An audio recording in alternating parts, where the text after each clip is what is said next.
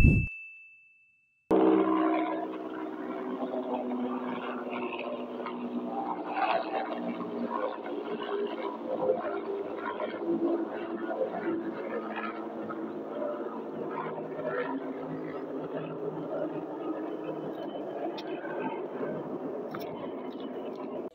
घाटी में आज सुबह एक बड़ा हैली हादसा हो गया था, लेकिन अब बताया जा रहा है कि वो एक पुराना हेलीकॉप्टर था और उसको एम आई सेवनटीन द्वारा उसको वहाँ से और केदारनाथ से और गौचर हेलीपैड पे ड्रॉप किया जा रहा था, उसको ठीक किया जाना था। लेकिन ये घटना लगभग सुबह सात से साढ़े सात बजे के बीच की बताई जा रही है और केदारनाथ से जो एम आई सेवनटीन हेलीकॉप्टर है, उसके द्वारा उस हेली को क्रिस्टल कंपनी का ख़राब हेलीकॉप्टर था, उसको गौचर ले जाया जा रहा था। और बीच में ही जो लिंचोली है, बड़ी लिंचोली, उसके ठीक ऊपर आसमान में उसको डिसबैलेंस हुआ और उसके बाद मजबूरी में जब बड़ा हादसा, क्योंकि एम आई सेवनटीन के साथ भी हो सकता था, ऐसे में उसको वहाँ से ड्रॉप किया गया और वो सीधे जाकर मंदाकी नदी के किनारे जा गिरा। लेकिन सबसे बड़ी बात यह है, क्योंकि केदार घाटी एक सेंसिटिव एरिया है और वहाँ पर कई बार बड़े बड़े हेली हादसे हो चुके हो चुके हैं। और ऐसे में जिस तरीके से आज वहाँ पर एक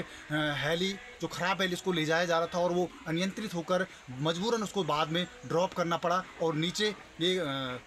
अच्छी किस्मत ये रही कि, शुक्र ये रहा कि नीचे कोई आदमी नहीं था, वो ट्रैक पे नहीं गिरा। कहीं जहाँ पर जो टेंटेज हैं, वहाँ पे जो तमाम बड़ी लिंचौड़ी में वहाँ पर बड़े बड़े टेंटेज हैं, बड़ी वहाँ पे लोग रहता, दबाव रहता है वहाँ पे यात्रियों का और वो जाके जो हैली है ख़राब, वो सीधे मंदाकिनी नदी के किनारे पे जा गिरा है। लेकिन आपको यही बता दूँ क्योंकि पहले भी कई हैली वहाँ पर ख़राब हो चुकी है और हालाँकि उनको ले जाने की प्रक्रिया यही होती कि या चिनूक से ले जाया जाता है या फिर एम आई से। लेकिन आज सबसे बड़ी जो बात है, जो सबसे बड़ी लापरवाही ये है कि जब आपने वो हैली वहाँ से हैंग किया था, उस समय कहीं ना कहीं ये चीज़ें देखने की ज़रूरत थी कि कहीं ना कहीं इसमें दिक्कत ना हो बैलेंस में दिक्कत ना हो। और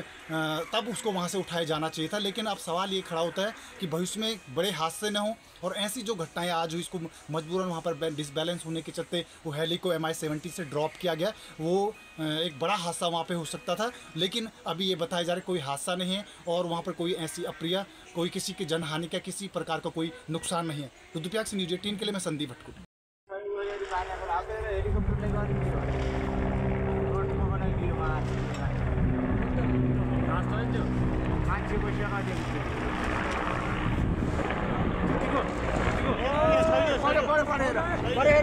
अब खै मार्यो